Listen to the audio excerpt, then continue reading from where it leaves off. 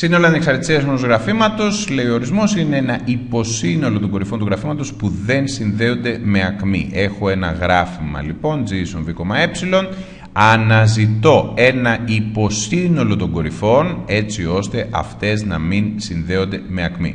Δηλαδή η απάντηση για το βιτόνος θα ήταν τσίμπα αυτές τις κορυφές, αυτές οι κορυφές ανά δύο δεν συνδέονται με ακμή. Εντάξει. Οπότε πάμε να δούμε λίγο στο παράδειγμα τι γίνεται. Πάω και επιλέγω για παράδειγμα την κορυφή V1 να τη βάλω σύνολο εξαρτησίας. Αμέσως μετά δεν μπορώ να βάλω τη V5 επειδή συνδέεται με τη V1. Διαλέγω λοιπόν και τη V2 να τη βάλω στο σύνολο ανεξαρτησία. Τη V3 δεν μπορώ να τη βάλω γιατί συνδέεται με τη V2. Διαλέγω και τη V4 και έτσι έχω φτιάξει ένα σύνολο ανεξαρτησίας. Το οποίο σύνολο ανεξαρτησίας είναι αυτό εδώ, το βιτόνο στον V1, V2, V4. Ανεξάρτητες κορυφές μεταξύ τους δηλαδή που δεν έχουν καμία συσχέτιση.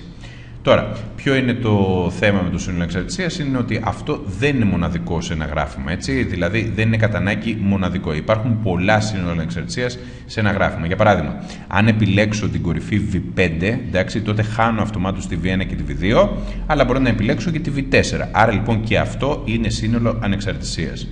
Τώρα, επίσης με πιο διαστραμμένα ακόμα παραδείγματα, μπορώ να πω επίσης ότι σύνολο ανεξαρτησίας είναι το εξής. Είναι να επιλέξω για παράδειγμα μόνη της την κορυφή V3. Πράγματι, αυτή συγκροτεί ένα σύνολο με κορυφές που δεν συνδέονται μεταξύ τους. Δεν υπάρχει δηλαδή καν η ανάγκη που πήγα έτσι φυσικά να κάνω, να επιλέξω όσες κορυφές θέλω περισσότερες, όσο το δυνατόν περισσότερες κορυφές. Εντάξει. Τώρα, ε, αυτά όσον αφορά τον ορισμό της online εξαρτησίας. Για να παίξουμε όμως τι κάνουμε, πηγαίνουμε και ορίζουμε συμπληρωματικά το λεγόμενο μεγιστοτικό και το μέγιστο τη εξαρτησία. Ποιο είναι το πρόβλημά μας τώρα; Το πρόβλημά μας είναι ότι θέλω να μου δίνουν ένα γράφο και να βρίσκω το μέγιστο τη εξαρτησία. Πώς εδώ πήγα και έφτιαξα το πρώτο το οποίο είχε τρεις κορυφές. Αυτό είναι το μέγιστο σύλλογο εξαρτησία. Ε, το μέγιστο μάλιστα στα αγγλικά έχει μια πιο ενδιαφέρουσα ορολογία, είναι το maximum. Έτσι; Δηλαδή πιο πάνω από αυτό δεν μπορείς να πας. Τώρα, ε, υπάρχουν τώρα δύο περιπτώσεις. Γιατί για να φτάσουμε στον ορισμό του μεγίστου πρέπει να περάσουμε από τον ορισμό του μεγιστοτικού. Που στα αγγλικά πάλι έτσι έχει ενδιαφέρουσα ορολογία, λέγεται maximal. Maximal είναι κάτι το οποίο δεν μπορεί να μεγαλώσει περαιτέρω, ενώ maximum είναι το μεγαλύτερο από όλα τα maximal.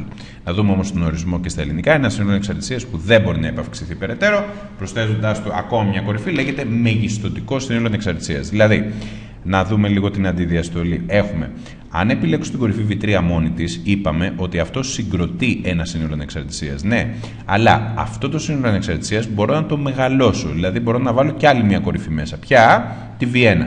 Έτσι λοιπόν η κορυφή V3 από μόνη της συγκροτεί σύνολο εξαρτησία, το οποίο όμως δεν είναι μεγιστοτικό γιατί μπορούσα να το επαυξήσω περαιτέρω. Και τώρα φτιάχνοντας το V3V1 παρατηρώ ότι δεν μπορώ να το μεγαλώσω πια γιατί όλες οι υπόλοιπες κορυφές συνδέονται με τις δύο κορυφές τις οποίες έχω επιλέξει. Άρα το V3V1 είναι ένα μεγιστοτικό σύνολο ανεξαρτησίας, έτσι. Και είναι αυτό εδώ.